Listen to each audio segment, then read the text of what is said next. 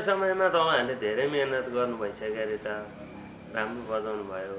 अझै योभन्दा पनि बढी बच्छ है सिक्दै गयो भने। तपाईँहरूले अहिले जति बजाउनु भयो नि त्यसको लगभग थो धेरै त भन- भन्दिनँ म सात आठ गुणा बढी मिठो बाँसुरी बजाउन सकिन्छ। प्र्याक्टिस मिहिनेत गर्दै धैर्यताको साथ अघि बढ्यो भने निरन्तर लाग्यो भने अब हामीले सारे गाउँमा पदनी बजाउँछौँ नि। सारे गाउँमा प ध ध भने ध भने धैर्य। धैर्य साथ हामी आउँछ। जसरी अझ राम्रो बनाउँछु अझ सिक्दै जान्छु भनेर धैर्य गर्न पनि पर्यो आउला भनेर। पऱ्यो। अनि नि पनि हामीले बनाउँछौँ। नि भने चाहिँ निरन्तरता।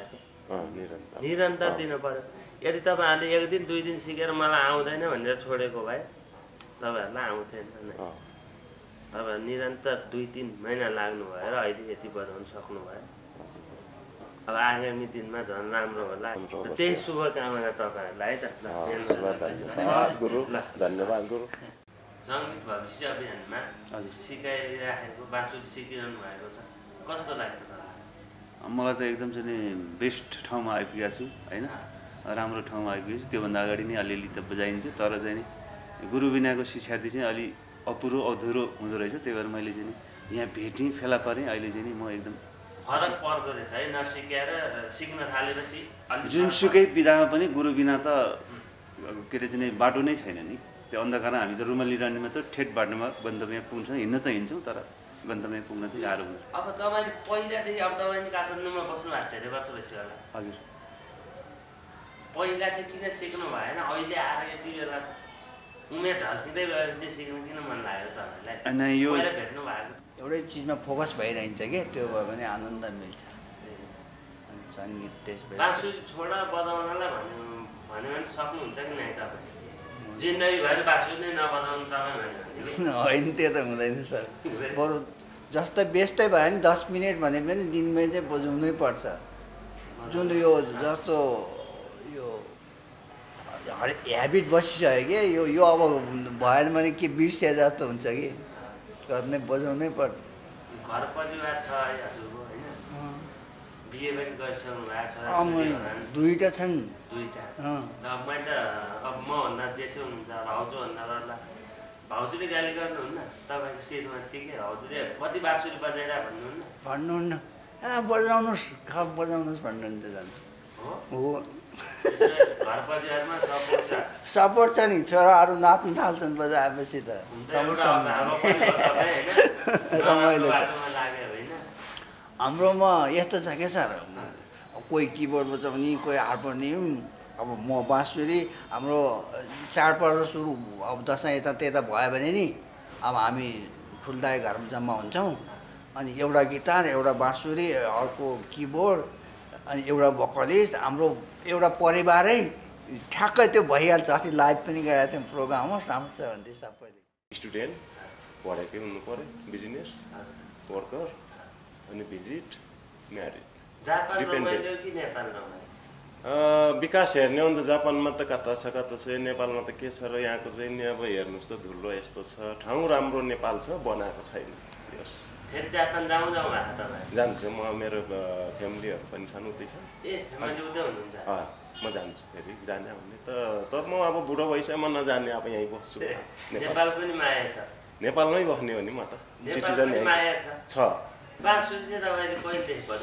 बाँसुरी अस्ति लकडाउनमा एकजना साथीलाई मैले यहीँ बल खेल्ने ठाउँमा नयाँ बसपा भेटेको थिएँ उहाँलाई मैले सोधी खोजी गर्दाखेरि हजुरको कम्युनिके कन्ट्याक्ट दिनुभयो हजुर हजुरको यो के भन्छ यो के नाम मैले के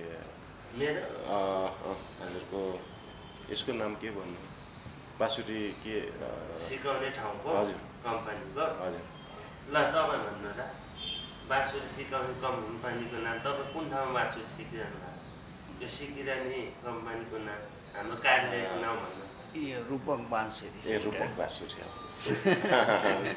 तर त्यसो भन्दै मिल्दैन यो त नाम भन्दा सिकाउने टिचर यताउति भन्दा चाहिँ मिल्छ हाम्रो। तर यो कम्पनीको कार्यालयको नाम भनिरहेको छु मैले। कम्पनी त रूपक बाँसुरी होइन। ल तपाईँ भन्नु। तपाईँ तपाईँ पढ्ने विद्यालयको नाम भन्नुहोस् हामीले चाहिँ यो रूपक बाँसुरी भनेर चिनिएको हो खास चाहिँ। शेषमाथि मिनी मार्केट मार्केट रूपक बाँसुरी भन्ने चाहिँ पछाडि बोर्डमा लेखेको। जोस् तपाईँहरूले सिक्ने विद्यालय हाम्रो कम्पनीको नाम रूपक बाँसुरी हो। जे होस् चाहिँ होइन होइन जे होस् चाहिँ नि हामीले चाहिँ नि जे होस् ए बोर्डमा देखेको त्यो। रूपक बाँसुरी सुनेर चाहिँ तपाईँ यहाँ जोडिन आउनु हो, भयो त्यो- बाँसुरी सिक्नलाई। बाहिरको साइनबोर्डले गर्दा नै हामीले देखेर तर अब आजदेखि तपाईँहरूले बुझ्न पर्यो हाम्रो कम्पनीको नाम अब म त व्यक्ति एउटा भयो नाम होइन सङ्गीत भविष्य अभियान प्रणाली त्यो चाहिँ सङ्गीत भविष्य अभियान। प्रणाली हो। मलाई लाग्छ तपाईँहरू रूपक बाँसुरीको नामले चाहिँ बाँसुरी सिक्न आइरहनु भयो होइन। हजुर। तर त्यो चाहिँ बिर्सिनु भयो त्यसलाई नै हामीले बिर्सिनु हुन्छ कुनै ठाउँमा। अब त्यो कसको त्यसको सञ्चालक को भन्दा चाहिँ रूपक बाँसुरी हो। मै नै हो होइन। हम दर्ता त त्यो हो नि त। अब यसो हेर्दा त उमेर त धेरै भइसक्यो तपाईँको तिस त कटिसक्यो है। यो बुढेसकालमा नि सङ्गीत सिक्नु मन लाग्छ? सङ्गीत सिक्यो भने कहाँ आनन्द मिल्छ सर? आनन्द मिल्छ नि त। आनन्द आउँछ? अरू के आउँछ? म्युजिक सिक सिकेर? के फाइदा छ जस्तो लाग्छ सङ्गीतको? सङ्गीत सिकेर हामी कन्सन्ट्रेट हुन्छौँ एउटा। एउटै कुरामा फोकस गर्न सकिन्छ। त्यसपछि म्युजिक आफू बजाउँदै गर्दाखेरि आफूलाई पनि आनन्द मिल्छ।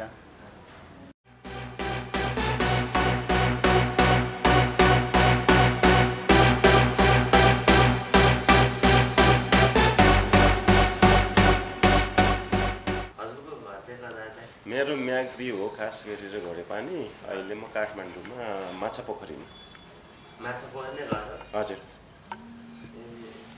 कति वर्ष भयो यता काठमाडौँ? काठमाडौँ बसेको पैँतिस वर्ष जति। पैँतिस वर्ष भइसक्यो। हजुर। पोखरा छोडिदिनु भयो? पोखरा चाहिँ जान्छु पोखरा पनि बस्छु। पोखरा यहाँ एक हप्ता हप्ता। विदेश जानुभयो? विदेश गएको। विदेश चाहिँ कुन देश? म जापान गएको। जापान हजुर। टन्नै पढ्नु भएको थियो पढेको छैन म त्यत्तिकै वर्कर। वर्करमा गएको हो म। ए वर्किङमा चाहिँ नपढि जानु पाइन्छ। पाउँछ। त्यो स्किल हुनु पऱ्यो आफ्नो स्किल चाहिँ नि हुनुपर्छ। भन्नाले त्यहाँ चाहिँ धेरै किसिमको भिजाहरूको ब्रान्च हुन्छ। स्टुडेन्ट पढेकै हुनु पऱ्यो बिजनेस। वर्कर अनि भिजिट म्यारिड। अ, विकास हेर्ने हो भने त जापानमा त कता छ कता छ नेपालमा त के छ र यहाँको चाहिँ नि अब हेर्नुहोस् त धुलो यस्तो छ ठाउँ राम्रो नेपाल छ बनाएको छैन। यस। फेरि जापान जाउँ जाउँ भएको तपाईँ? जान्छु म मेरो फ्यामिलीहरू पनि छन् उतै छ ए फ्यामिली उतै हुनुहुन्छ? म जान्छु फेरि जाने आउने त तर म अब बुढो भइसक्यो म नजाने अब यहीँ बस्छु। नेपाल। पनि माया छ? नेपालमै बस्ने हो नि म त। सिटिजन छ? नेपाल हो म नेपाल छोडेर कहाँ जाने? बाँसुरी अस्ति लकडाउनमा एकजना साथीलाई मैले यहीँ बल खेल्ने ठाउँमा नयाँ बसपाक भेटेको थिएँ। उहाँलाई मैले सोधी खोजी गर्दाखेरि हजुरको कम्युनिके कन्ट्याक्ट दिनुभयो। म मेरो? पनि हजुर। हजुरको यो के भन्छ यो के नाम मैले के? हजुरको यसको नाम के भन्नु? बाँसुरी के सिकाउने ठाउँको हजुर। कम्पनीको? हजुर। ल तपाईँ भन्नु त। बाँसुरी सिकाउने कम्पनीको नाम। तपाईँ कुन ठाउँमा बाँसुरी सिकिरहनु भएको छ? यो सिकिरहने कम्पनीको नाम हाम्रो कार्यालयको नाम भन्नुहोस्। न यो रूपक बाँसुरी। ए। रूपक बाँसुरी हो। तर त्यसो भन्दै मिल्दैन यो त नाम भन्दा सिकाउने टिचर यताउति भन्दा चाहिँ मिल्छ हाम्रो। तर यो कम्पनीको कार्यालयको नाम भनिरहेको छु मैले। कम्पनी त रूपक बाँसुरी होइन। ल तपाईँ भन्नु। तपाईँ भन्नु। तपाईँ पढ्ने विद्यालयको नाम भन्नुहोस् हामीले चाहिँ यो रूपक बाँसुरी भनेर चिनिएको हो खास चाहिँ शेषमाथि मिनी मार्केट मार्केट रूपक बाँसुरी भन्ने चाहिँ पछाडि बोर्डमा लेखेको जोस् तपाईँहरूले सिक्ने विद्यालय हाम्रो कम्पनीको नाम रूपक बाँसुरी हो जे होस् चाहिँ होइन होइन जे होस् चाहिँ नि हामीले चाहिँ बोर्डमा देखेको त्यो। रूपक बाँसुरी सुनेर चाहिँ तपाईँ यहाँ जोडिन आउनु भयो हो, त्यो- बाँसुरी सिक्नलाई बाहिरको साइनबोर्डले गर्दा नै हामीले देखेर तर अब आजदेखि तपाईँहरूले बुझ्न पर्यो हाम्रो कम्पनीको नाम अब म त व्यक्ति एउटा भयो नाम होइन सङ्गीत भविष्य अभियान प्रणाली। त्यो सङ्गीत चाहिँ उहाँ भविष्य चाहिँ अभियान गाले। प्रणाली हो। सङ्गीत भविष्य अभियान प्रणाली। मलाई लाग्छ तपाईँहरू रूपक बाँसुरीको नामले चाहिँ बाँसुरी सिक्न आइरहनु भयो होइन? हजुर। तर त्यो चाहिँ बिर्सिनु भयो। त्यसलाई नै हामीले बिर्सिनु हुन्छ कुनै ठाउँमा। अब त्यो कसको त्यसको सञ्चालक को भन्दा चाहिँ रूपक बाँसुरी? हो। मै नै हो होइन? हम दर्ता त त्यो हो नि त। सञ्चालकको नाम हामीले भन्यौँ। सङ्गीत भविष्य प्रणाली चाहिँ त्यो त अब कम्पनीको नाम धेरै छ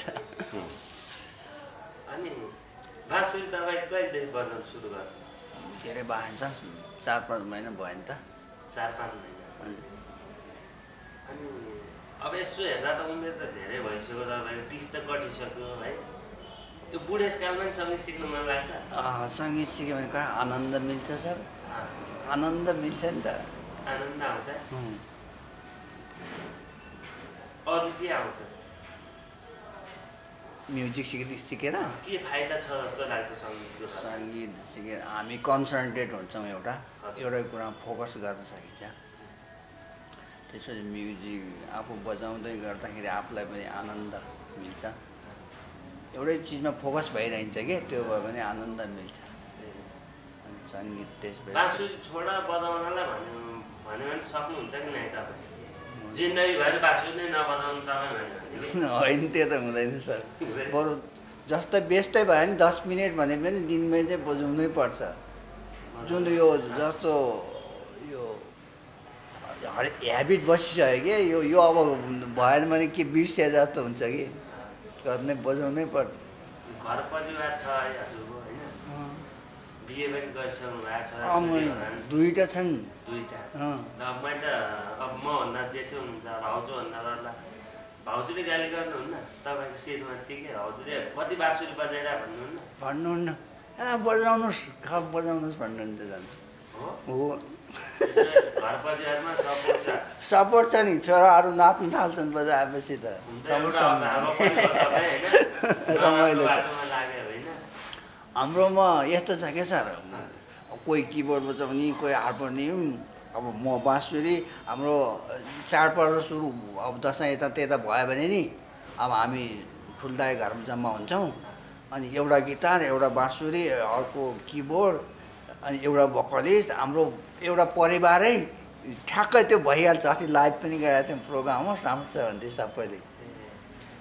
प्रोफेसनल नभए पनि जम्मा हाम्रो परिवार जम्मा भएपछि सुरु गरिहाल्ने हो।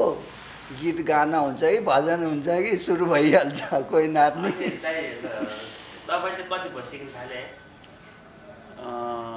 कार्तिक मसी मैले साढे दुई महिना भयो यहाँ। महिना। हजुर। सङ्गीत भविष्य अभियानमा। सिकाइराखेको बाँसुरी सिकिरहनु भएको छ। कस्तो लाग्छ मलाई त एकदम चाहिँ नि बेस्ट ठाउँमा आइपुगेको छु होइन? राम्रो ठाउँमा आइपुगेको छु। त्योभन्दा अगाडि नै अलिअलि त बजाइन्थ्यो तर चाहिँ नि गुरु बिनाको शिक्षार्थी चाहिँ अलि अपुरो अधुरो हुँदो रहेछ। त्यही भएर मैले चाहिँ यहाँ भेटेँ फेला परेँ। अहिले चाहिँ नि म एकदम फरक पर्दो रहेछ है नसिकाएर सिक्न थालेपछि जुनसुकै विधामा पनि गुरु बिना त के अरे चाहिँ बाटो नै छैन नि। त्यो अन्धकार हामी त रुमाली रानीमा त ठेट बाटोमा गन्तव्य पुग्छ हिँड्न त हिँड्छौँ तर गन्तव्य पुग्न चाहिँ गाह्रो हुन्छ। अब तपाईँले पहिलादेखि अब तपाईँले काठमाडौँमा बस्नु भएको धेरै वर्ष भइसक्यो होला हजुर। पहिला चाहिँ किन सिक्नु भएन अहिले आएर यति बेला उमेर ढल्किँदै गएपछि सिक्नु किन मन लाग्यो तपाईँलाई? यो भेट्नु भएको थिएन बाँसुरी सिकाउनु ठाउँ। नै यो भनेको चाहिँ नि मलाई चाहिँ सुरुमा गाउँघरमा अल्लारेम हुँदा चाहिँ कस्तो हुन्थ्यो भने त्यो चाहिँ नि रेडियो नेपालहरूमा चाहिँ पहिला पहिला त लोक धुन त प्रायः कमै बज्थ्यो नि। त्यो बि त्यसमा बजेको चाहिँ मलाई असाध्यै चाहिँ मन खान्थ्यो। जुनसुकै बाँसुरीको पनि। अनि मैले चाहिँ नि गाउँघरमा त्यो गाउँमा पाइने बाँस खोपेर पनि दुनियाँ बजाउने यताति गर्थेँ। अनि त्यो अल्लारेको कुराहरू भए त्यो सिलसिलामा जारी खाएपछि यसमा चाहिँ नि मेसोमेलो भएन क्या। त्यसमा चाहिँ नि टाइम चाहिँ नि भएन। अनि त्यसपछि अहिले चाहिँ नि अब जाहिर छोडेपछि यो फ्री टाइममा चाहिँ अब फेरि यसमा त लाग्ने भयो। सङ्गीतमा चाहिँ नि मन नपर्ने कुनै को होला र कुनै पनि विधामा इच्छा छ तर बजाउन आउँदैन त्यो हिसाबले गर्दाखेरि। अनि अहिले चाहिँ नि होइन एकपटक त चाहिँ नि गुरुकोमा जानैपर्छ भन्ने मनस्थिति भएर यहाँ आइयो। तर पहिला चाहिँ नि बजाउँदा बाँसुरी बजाउँदा चाहिँ नि सुरुमा चाहिँ नि त्यो आवाज किन निस्किँदैन? बाँसुरी आगो पुगे जस्तो हुन्थ्यो भने यहाँ आएपछि गुरुले सिकाएछ। आवाज अहिले चाहिँ नि सुधार भइरहेको छ एकदम खुसी लाग्छ। तिनवटा जति फाइदा बताइदिनु यो बाँसुरी सिक्दा तपाईँलाई भएको फाइदा यसमा? यसमा भनेको चाहिँ नि फर्स्ट ट्रिट ट्रिटमेन्ट चाहिँ नि मैले पहिलेदेखि चाहिँ सुनेको थिएँ देखाएको थिएँ कि सङ्गीतले हरेक किसिमको चाहिँ नि रोगहरूको पनि उपचार हुन्छ। जस्तो चाहिँ नि हस्पिटलको बेडमा चाहिँ चटपटाइरहेको बिरामीलाई पनि यो सङ्गीत कुनै पनि बिदा सुनेपछि उसलाई आनन्द एउटा कुरा चाहिँ त्यो छ। दोस्रो कुरा चाहिँ नि आफूलाई पनि त अब कुनै पनि केही छ भने यो चाहिँ नि तनावबाट चाहिँ मुक्त सङ्गीत सुनेपछि जुनसुकै किसिमको तनाव भए पनि यो सुनेपछि केही समयलाई त बिर्सिनै भयो होइन? अनि चाहिँ आफूलाई छुट्टै छुट्टै किसिमको फिल हुन्छ नि त भोलि गएर कलाकार पनि भइएला होइन। व्यावसायिक रूपमा पनि गइएला पैसा नि कमाइएला देश विदेश जान पाइएला यी कुराहरू छन् त्यो त्यो भन्ने कुरा आफ्नै पाटोमा छ त्यो उमेरको अनुसार चाहिँ नि त्यो बेग्लै कुरा भयो। हामी अलिकति उमेरको हिसाबले चाहिँ त्यो पाटोमा चाहिँ अलि नभ्याइएला कि जस्तो लाग्छ। तर आफ्नै हिसाबले सानोतिनो चाहिँ नि कार्यक्रम भयो भने त्यसमा बजाएर पनि अब आफूले बजाए पनि यसो आनन्द त मिल्ने भयो नि त कमसेकम।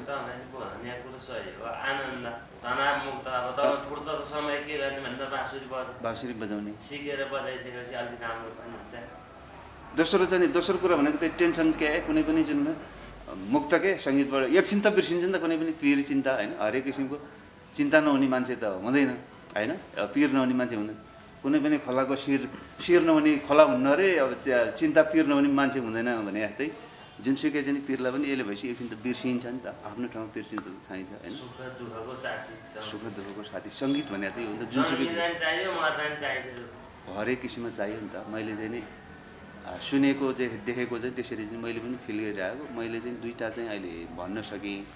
जो चाहिँ बिरामीहरूलाई पनि त्यो सङ्गीत सुनाए चाहिँ बिरामीलाई आनन्द बेडबाट होइन। दोस्रो कुरा चाहिँ चिन्ताबाट चाहिँ मुक्त होइन। तेस्रो भनेको अब आफ्नै अब हामी त यसमा चाहिँ नि व्यावसायिक हिसाबमा त नजाउँला उमेरको हिसाबले। तर पनि सानोतिनो कार्यक्रमहरूमा यसो चाहिँ ल तिमीले नि बजाउनु जाने हो नि त बजाउनु न यता चाहिँ भने। ओहो झन् छुट्टै फिल आनन्द। मैले पनि यतिसको जानेछु भने एउटा आफूलाई नै गर्व फिल हुन्छ नि त। आनन्दित। त्यस्तै हो ल अब होइन। तपाईँको चाहिँ अलिकति बुझौँ न त। हजुर भन्नु। पहिला तपाईँलाई त्यति नै आउँथेन कि आउँथ्यो बाँसुरीबाट बाँसुरी त मैले त पहिलादेखि छुएको पनि थिएन जस्तै हो? हजुर अस्ति लकडाउनमा सुरुवातै यहीँ सङ्गीत भविष्य अभियानमा हजुर। आएर। यहीँबाट यहीँ हजुरको कम्युनि कन्ट्याक्टमा आएँ म। त्यसपछि बल्ल छुएँ न छुनु त छुएँ होला तर बजाउनु सुरु। खुसी खुसी जान्नुभयो है? खुसी छु नि किन। भन्दाखेरि त्यति बेला त यस्तो यो यस्तो तरिकाले सिक्ने भन्ने त ज्ञानै थिएन है? रमाइलो लाग्यो। रमाइलो लागेको छ रमाइलो छ। ल अब तपाईँहरू तिनैजनाले यो दुई तिन महिनाको पिरियडमा कतिको बजाउनु भएको रहेछ सिक्नु भएको रहेछ सुनिदिउँ है?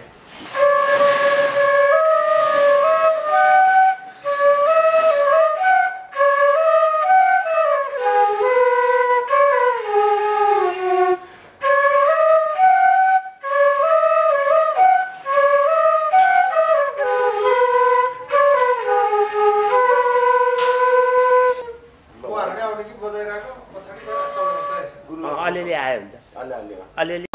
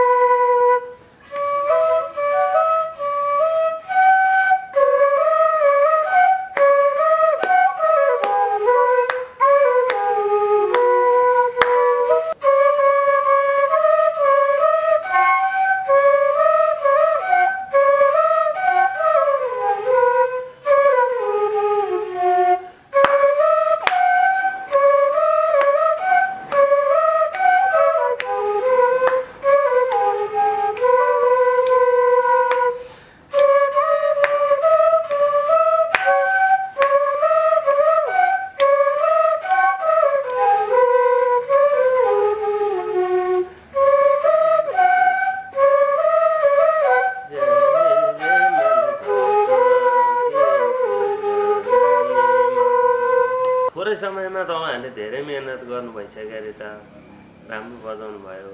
अझै योभन्दा पनि बढी बच्छ है सिक्दै गयो भने। तपाईँहरूले अहिले जति बजाउनु भयो नि त्यसको लगभग थोर धेरै त भन- भन्दिनँ म सात आठ गुणा बढी मिठो बाँसुरी बजाउन सकिन्छ। प्र्याक्टिस मिहिनेत गर्दै धैर्यताको साथ अघि बढ्यो भने निरन्तर लाग्यो भने। अब हामीले सारे गाउँमा पदनी बजाउँछौँ नि। सारे गाउँमा प ध ध भने ध भने धैर्य धैर्य साथ हामी आउँछ जसरी अझ राम्रो बनाउँछु अझ सिक्दै जान्छु भनेर धैर्य गर्न पनि पऱ्यो आउला भनेर। अनि नि पनि हामीले बनाउँछौँ नि। भने चाहिँ निरन्तरता। निरन्तर दिनु पऱ्यो यदि तपाईँहरूले एक दिन दुई दिन सिकेर मलाई आउँदैन भनेर छोडेको भए तपाईँहरूलाई आउँथेन तपाईँहरू निरन्तर दुई तिन महिना लाग्नु भएर अहिले यति बनाउनु सक्नुभयो। अब आगामी दिनमा झन् राम्रो होला होइन। त्यही शुभकामना तपाईँहरूलाई है त। गुरु। धन्यवाद गुरु।